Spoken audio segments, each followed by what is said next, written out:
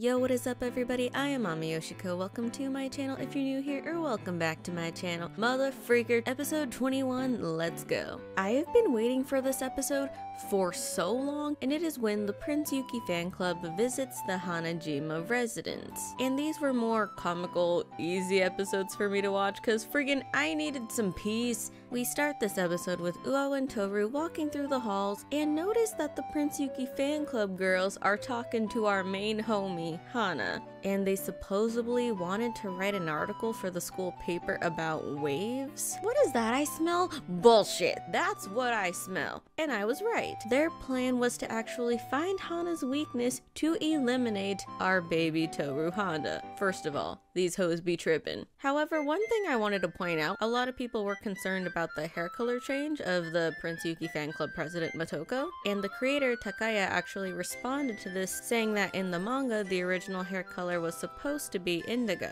I actually went back and looked at the manga and even I thought it would have been like a lighter color cuz you know when you shade in manga if it's like darker the hair would be like black or something but Motoko's hair was lighter in the manga, but if that's what the creator says, I'm not gonna say nothing, you feel? So these girls just jealous that Toru is very close with Yuki, so they want to keep her away. However, they can't do shit because our goth queen is in their way. They tag along with Hana to her home and we see Megumi. I love Megumi. He's so cute. He's so adorable. That freaking goth boy. I love him so much. They get to her house and Hana says to never say their name out loud. And I'm just like, um, squeeze me? She makes them tea like the nice host that she is. And these, these hoes are scavenging through her room. Are you serious? Where are your manners, ladies? And Megumi, freaking hiding in her closet. Megumi comes out and the Prince Yuki fan club president asks if Megumi can do similar wave things like Hana.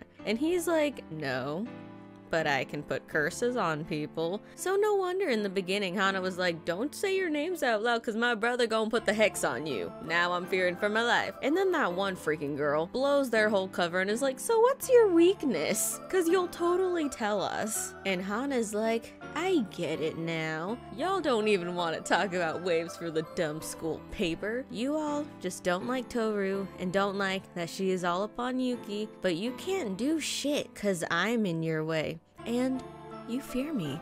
I loved that part. I was like, yo, homie, yes. So you want to get me out of the picture so you can take out Toru. Well, my baby, that ain't happening. So Motoko, the club president, is like, yeah, so Tell Toru to stay away from him. if I hated anything about people from like middle school, high school, it was like those girls who would like like a boy and they would tell all the girls to like stay away from him even though you never talked to them, never been near them and they don't even know you exist, yet you tell other people they can't be near them. I hated that stuff so much. It's like so catty. And as Hana and Megumi say, it is all their insecurities and entitlement to his affection and attention attention just because they like him. And it's just not okay. Even if you do love him, you need to respect his feelings first. I remembered this quote that was in the original anime that to me like touched me to this day.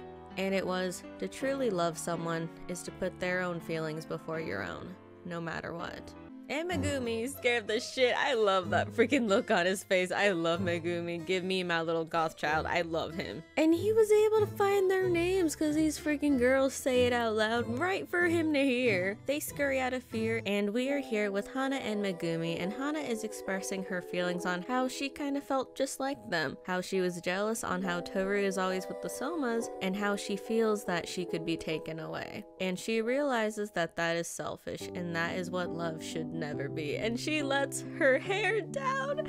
I love her so much. She is so freaking beautiful. I love my queen. And get you besties like Uo and Toru. They pay her a visit, especially because I guess Toru was worried for Hana and ugh, that is a smile I will freaking protect. That ending part with the curse though, um, that was some funny shit. Episode 22, let's go. I was not ready for this episode at all. This is another episode that will be entirely manga comparisons, which is actually so much easier for me to edit, um, thank the lord. And this wasn't in the original anime, so I was not prepared for this. We see in the beginning that Hana hears voices in her head. Poor, poor baby, she's panicking. We meet with the parents and they state that she has had these powers since birth. First of all, Megumi, adorable as always. But yo, this episode was so hard for me to watch because as a fellow bullied child, not as bad as Hana though, but she was bullied so hard like, yo, I got so mad, especially in this first scene, like where the frick is the teacher? Why isn't anyone stepping up to help her? And Hana in her head says that she wants the boy to die. We all have probably done once or twice in our life, and the kid actually passes out. Doesn't die, but loses consciousness. And oh my god, we cut back to the house where I guess, you know, obviously teachers know what happened, told the parents, and poor Hana, freaking, oh my poor baby. She's like, I said in my head I wanted him to die. When are the police gonna come and take me? Hana, I wanna hug my baby so much. She is so scared, so terrified of these powers. But yo, I commend her parents so much.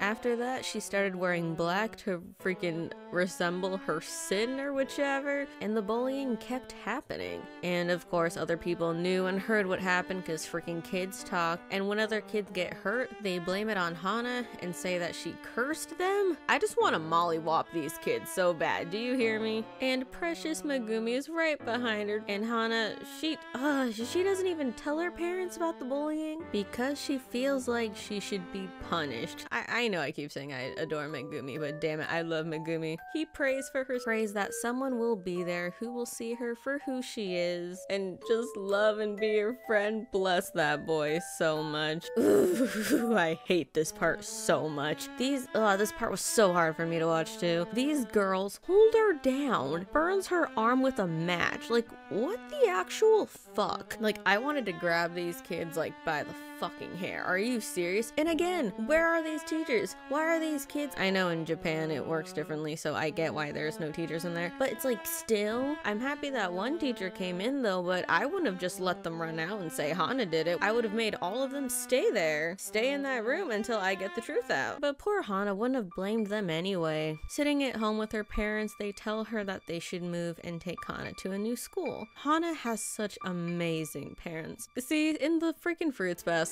so many of them have shitty parents, but I'm so happy that Hana has such amazing parents that just protect, they, they, they just want to protect their little goth angel, and I just love it so much. I was crying so hard. And after transferring to a different school, she kept her distance, and then she met the beautiful cinnamon roll Toru Honda.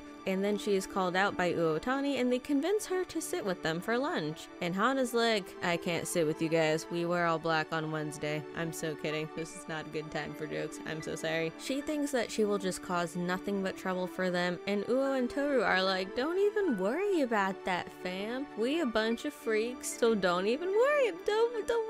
Don't worry about it, fam. I loved this freaking segment compilation. The making of one of the best iconic trios. Go go off in the comments. Go off in the comments. Name me a more iconic trio. I'll fucking wait. Hana felt like she actually belonged for the very first time. And then, out of the blue, these girls came up to them saying they heard she killed a boy in elementary school. First of all, these I know they're just kids, but I'm like, yo, if she killed someone, she wouldn't be here. And that she burned a girl's arm? Excuse you. I wanted to mollywop that kid so bad. Oh my god. She ran out of the room, completely terrified that she thinks she used her powers without her knowing and hurt the girl. Toru ran after her, and Hana tells her, I don't think we should hang out anymore. I'm only gonna hurt you. Please leave me alone. And Toru ain't afraid of nothing and tells her, No, we're growing such an amazing friendship. I might not know everything about you, but I want to learn about you. Don't let this be over. Oh, this part I was crying so much. The tears wouldn't stop. Uo comes in and it's like, It's your choice, but don't assume you're freaking causing trouble for us. But if that's how you feel, just let me know. Uh, Hana crying broke my soul. She wants to be their friend so bad. This episode had me such a mess. I was so happy to see Hana's story brought to life in the reboot. I couldn't have imagined it done any better way. Episode 23, let's go. We start at school with the teacher saying to everyone who failed an exam, you need to make it up on Sunday. First of all, that's bullshit. And Uo's like, if you wouldn't have failed, you wouldn't have had to make it up. And poor Toru is like, weeping in the corner. Toru failed one exam. Freaking Hana coming out being like, if it makes you feel any better, I failed all my tests. Literally me. Like, yo, I was a decently good student. I freaking did good in high school, but I failed all of my exams. I, I just worked my ass off, and the teachers know I just had really bad anxiety since like I was a kid. So I would just work my ass off on everything else, and I would do makeup tests a lot. But freaking university sucks, especially for psychology, where most of my classes are literally two exams, and that's your fucking grade. ah, kill me. Kyo walks with Toru home from school. She gets all in her head how she promised her mom she would graduate from high school, and then she feels weak, friggin' falls over. Poor baby, she's so freaking sick. And Shigure takes her temperature, confirms that you sick, and tells her no work, no cooking, stop arguing with me and go to bed. I think it's adorable how everyone is just worrying about her freaking adorable Momiji. Taking her place at work, he's like, you won't even know she's gone. was so cute. And Kyo, probably the cutest tsundere ever, tries to cook for Toru. And Shigure is like, what you making for us? And Kyo is like, go F yourself, go order some takeout. And Toru is more than grateful that Kyo took the time to make her food. But oh, I love Kyo. He's so cute. The biggest tsundere, the cutest tsundere in the freaking world. She's stressing out about the promises she made for her mom, saying she wasted Yuki's time from helping her study, and she just wants to be reliable. Baby, it's okay. Kyo is like, number one, chill. Two, work Yuki till he's dead. Literally, I'm not kidding. And Kyo admits that he just wants to see her goofy smile again. I fangirled so hard. That freaking blushy side look. My fangirling could not be contained. And Zaddy, Dr. Hattori comes to give her a shot. Momiji and Kisa are here. It's so, I like I said before, I love how they're all just so worried and concerned just cause she's sick. See, I thought this episode was gonna be peaceful, but nope, just wait, it's coming. The kids walk home from school and Toru did better on her makeup exams. And poor Kyo in the rain, he's weak and friggin' continues to walk, even though Toru's like, I can carry you if you transform into a cat, and he's like, fuck that hoe. And there is this ominous person watching over the trio, but mainly focusing on Kyo. We get home and Kagura is there to greet her beloved. Shigure tells them, get the fuck out and go on a date or something. Y'all just gonna destroy my house. And Kagura asks Kyo if she, insinuating Toru, knows about Kyo.